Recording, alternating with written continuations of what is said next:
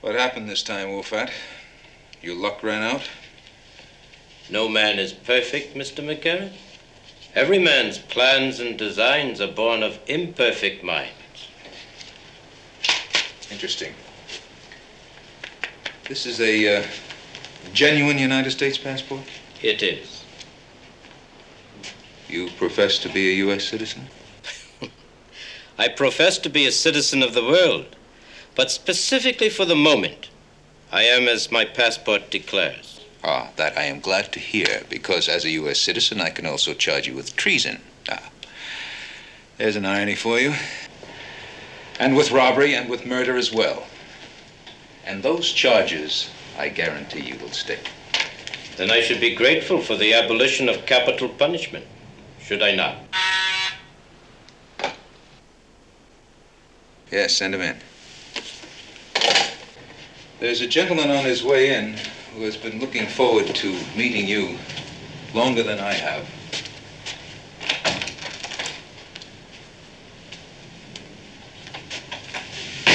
This would be Mr. Jonathan Kay.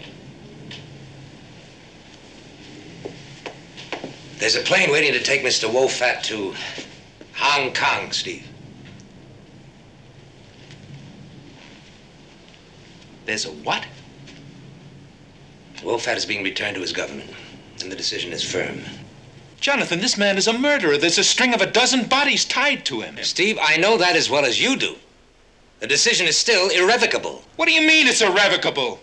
He committed crimes in this state. Capital crimes. This is my jurisdiction. Why is it irrevocable? Mr. Kay will explain as soon as I've left. We see now your imperfection, Mr. McGarrett.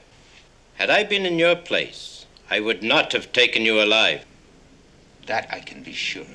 Given the option, however, I know that you would always preserve my life. May I begin my journey now, Mr. Kay? I believe my continued presence would only cause Mr. McGarrett greater anguish than he already feels. There's an escort waiting outside to take you to your plane. You may keep the passport and the other few items as mementos, Mr. McGarrett. I wish you continued good health. Mr. Kay.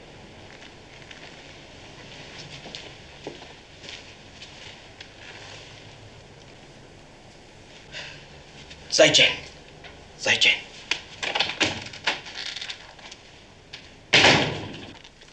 You sold me out, Jonathan. You sold me out. Wait a minute, Steve. Believe me, there was no choice. That I cannot accept. All right, Steve, you're entitled. There was a U-2 incident. That was under Eisenhower. Not this one. This was three years ago, over China. Only this time, no one took his shoe off and banged it on a table. This time, the Chinese just took the pilot and threw him in an isolation cell. And they kept him there for three years, incommunicado. Now, Steve, we tried every form of negotiation there is. They wouldn't even discuss it. Until today.